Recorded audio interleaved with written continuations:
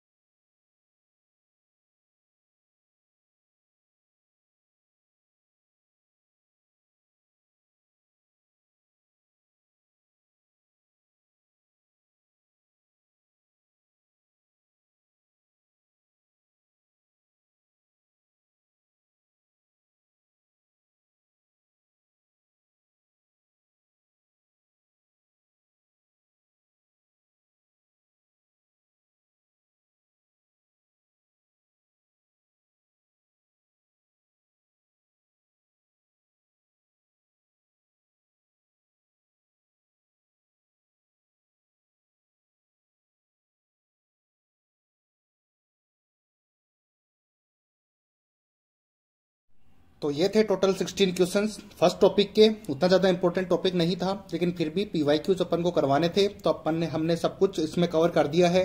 I hope आपको चीज़ें समझ आई होंगी बहुत सारी। अगर कुछ गलतियाँ इस टॉपिक में हुई है स्क्रीन पे चलाने में तो आप हमें कमेंट करके ज़रूर बताएँ कि कौन सी गलतियाँ हैं जिसको हम ठीक कर पाए नेक्स्ट वीडियोज़ के अंदर।